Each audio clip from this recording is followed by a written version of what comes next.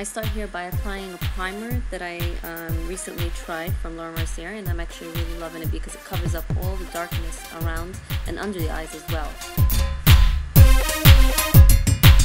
Then here I'm applying a gold liner from L'Oreal and I like to use this liner before applying any glitter because it holds it in place. Instead of using a glue that will feel kind of hard and tacky this feels very comfortable.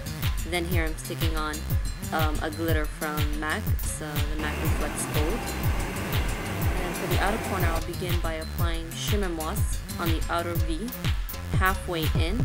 And I'm just gonna be um, adding more and more color to create um, more depth now I'm just lining the top of my lid with a gel liner and I'm using here a pencil brush and this is going to create a nice softer effect because I'm trying to get more of a smoky line and not a precise line and this is why I'm using a pencil, uh, a pencil brush to do this.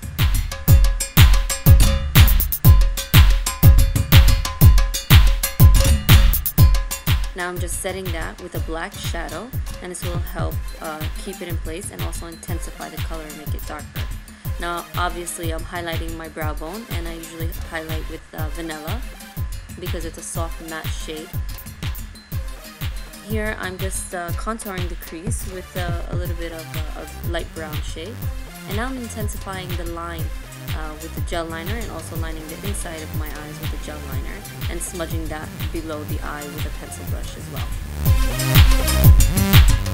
Now using the color Juxt, like a lime greenish gold I'm applying that in the inner part of my eye and this will create a nice highlight um, to the eye and open the eye up.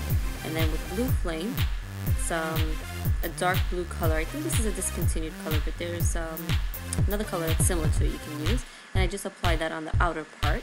And I'm just cleaning up all that glitter with uh, a MAC wipe.